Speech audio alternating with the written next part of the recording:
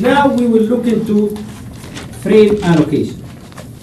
How does the system allocate frames to processes? Now, the system has a certain number of frames.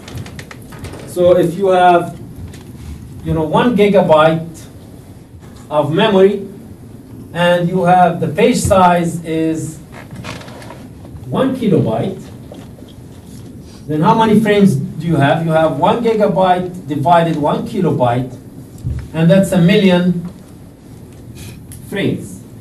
So that's 10 power 6 frames. So what do you do with these million frames? So how do you divide them among the processes that you have? So this is what we are about to study. Now, the first concept is the minimum number of frames that the system must give to a process. A process, this minimum number of frames depends on the architecture. Why? So let's explain this concept. Now when you have a, an instruction like this, multiply uh, memory address 1 by memory address 2 and put the result in memory address 3. Now, how many pages can this an instruction like this potentially reference? So clearly I have three different memory addresses, two sources and one destination, and each one of them can be in a different page. There's nothing in general. Each one of these can be in a different page. Right? So at least if I have an instruction that has three different memory operands, it may access three different pages. But there is also a, a fourth page, which is what? What's the fourth page that may be accessed? What? Operator. yeah, the instruction itself. So the code itself is in memory. So this could be in a different page. Well, most likely the, the page in which the code will be is going to be different than the page in which the data will be. So I have uh, one page of code and three pages of data. So this instruction can access four pages and it may result in four page faults. But on some architectures, things are even worse for two different reasons. The first reason is big instructions. So some architectures, like the IBM 370 architecture, has big instruction instructions that may straddle multiple pages. So it has some instructions that have that are six bytes long, and it may straddle two pages. So this is page one, this is page two, and that instruction may be on the boundary, so it's using four bytes in this page and two bytes from another page. So the instruction itself can be, uh, you know, can cross two pages. So even the instruction can, uh, you know, can straddle two pages, and memory operands may require multiple memory accesses if the memory operand is a pointer, not uh, not the actual you know address of the value. So you can have something like uh, like this. So your memory operand can be address say 1100 and address 1100 does not have the actual value. Address 1100 has a pointer to the actual data. So it has another address in it, which could be like address 6620. Uh, and address 6620 will have the actual data in it. And that data could be, for example, you know, 3, number 3.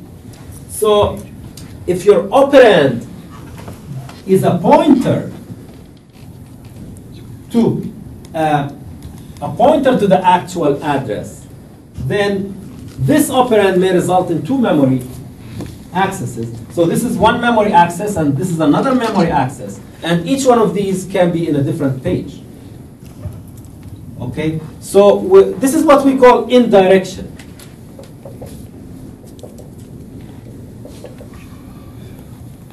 Indirection means using pointers to indirectly uh, to indirectly point to something. So this is uh, you know indirect. Uh, this is an indirect operand that is not the actual address of the value, but it's an, the address of a memory location that has a pointer to the actual data. So this is what we mean by indirection. Now, if you have multiple levels of indirection, an operand can access more, uh, more memory uh, locations and more pages. So with two level, with, with one level of indirection, you can access two memory locations. With two levels of indirection, you can access three. With three, you can access four, and so forth. Uh, so that's why the number of pages that a single instruction can access depends on the architecture. Okay, and you must give each process at least this number. So in this architecture, if one instruction can access six pages, you cannot give a process less than six pages. You must give it at least six pages. Okay, now how do we do the allocation? Well, first there is fixed allocation. Fixed allocation, well, the first scheme that we will look into is very naive. It's if you have 100 frames and uh, five processes, just give each process 20 frames. So 100 divided by 5, that's 20 frames per process. Now, why isn't this very efficient? Or why, why doesn't this make a lot of sense? Not all processes are equal. Yeah, exactly. Not all processes are uh, equal. Uh, there, there is always a difference between uh, equality and justice. You know, sometimes you know people get these two concepts mixed. They think that uh, justice is equality. No, it's not. It's not true. Uh, justice is different from equality. And fairness here, if you have a big process, uh, it's not fair to give it the same number of frames as a small process that doesn't need very many frames. And if the system, if the operating system is not fair, then the performance of the system will suffer. Yeah, so this is not a good idea. A better idea is proportional allocation, where um, proportional allocation, where you just the number of frames given to a process is proportional to its size. And in this case, in this example, uh, you know, the, you have 62 frames, and you have two processes, one with that needs that has a total size of 10, and another that has a total size of 127.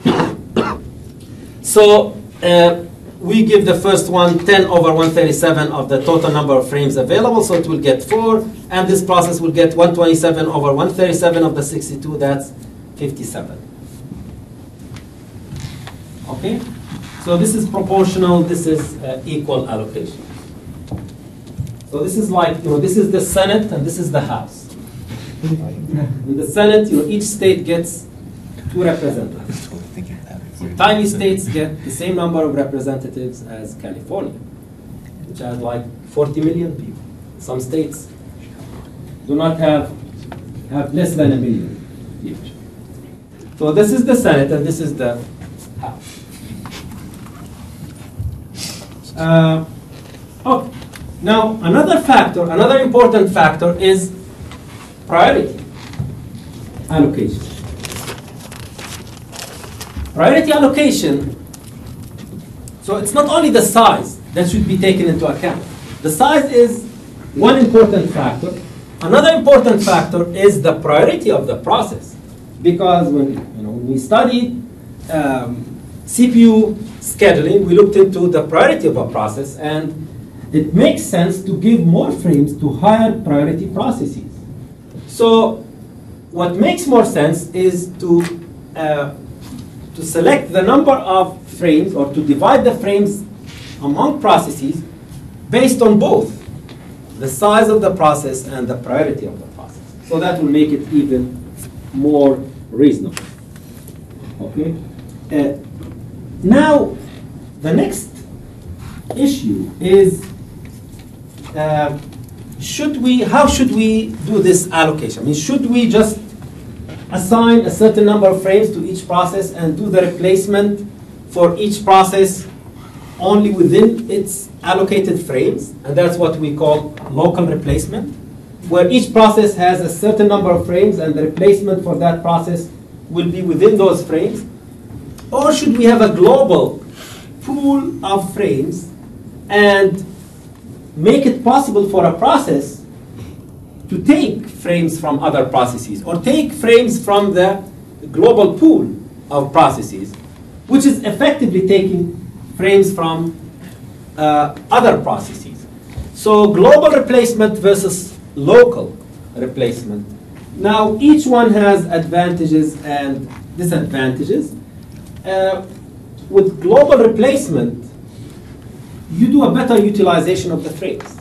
Because if you assign a certain number of frames to each process, and one process is just not utilizing all of its frames. So if you give it 20, and it doesn't, it, it never needs more than 10, then you are basically wasting these frames or underutilizing these frames.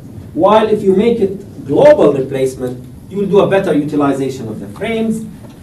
Uh, however, you know, the price that you pay in global replacement is that uh, the execution time of the process will be dependent on which other processes are running with it. But this is not a, uh, you know, this is not a big issue because processes compete for resources anyway. So frames are not the only resources that processes compete for.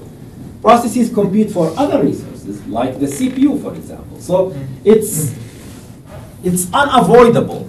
The, you cannot avoid uh, this competition between processes or among processes for resources. Uh, if, if you run your process with more other processes competing with it, you expect it to run slower than if you run it with fewer other processes competing with it. Okay? Uh, so this is local versus global.